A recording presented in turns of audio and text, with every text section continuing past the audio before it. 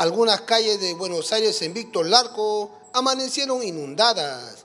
Estos charcos de agua son consecuencia de los helajes anómalos que se vienen dando hace una semana y ponen en alerta a todos los moradores. Sale en la madrugada. ¿La madrugada? Sí, la madrugada. En el día no sale el agua.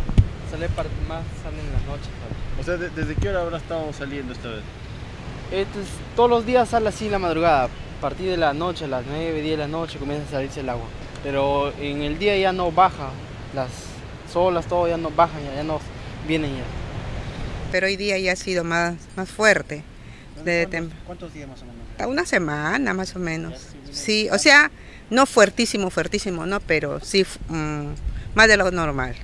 Pero ya hoy día desde las cuatro y media más o menos se ha salido, sí. En total son más de cinco las calles afectadas con las aguas del mar que han sobrepasado el enrocado. Los moradores ahora piden la presencia de las autoridades que puedan darle apoyo antes que surja una desgracia. ¿Fuerza? Sí, con fuerza, toda la madrugada.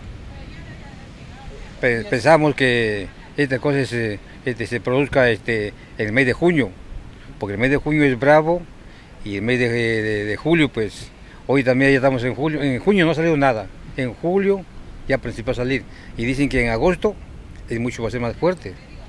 Por su parte, el alcalde del distrito, Carlos Vázquez Llamo, sostuvo que se les brindará el apoyo en coordinación con el gobierno regional, a fin de tomar las previsiones del caso.